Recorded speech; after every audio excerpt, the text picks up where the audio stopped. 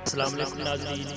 आप देख रहे हैं इन्फॉर्मेटिव मैं हूँ आपका मेज़बान शहजाद गाँव और देहातों में मजहबी त्यौहार हो या कोई इलाकाई त्यौहार, खेलों के मैदान सजते रहते इस बार ईद उल अजहा के मौका पर शहर कबूला के नवाही गाँव अठारह के में हुआ एक रेस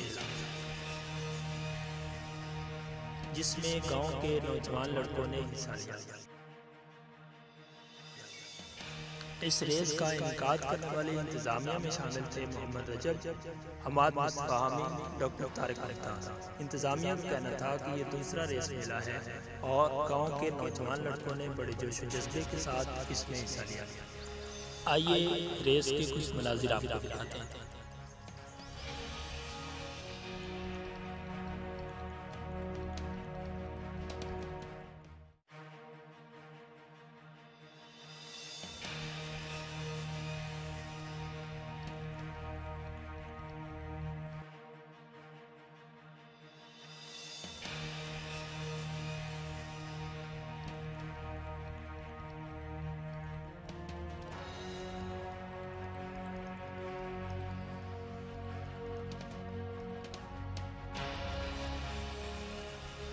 आखिर पर विन करने वाले नौजवानों को इनाम दिए गए, उनकी हौसला अफजाई की गई।